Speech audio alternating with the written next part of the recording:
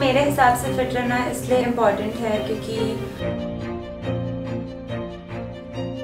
my every day food is like chicken broccoli brown rice I like an instant source. आप बल्कि नहीं बन सकते क्योंकि lot of people know that I used to play volleyball like I've played five.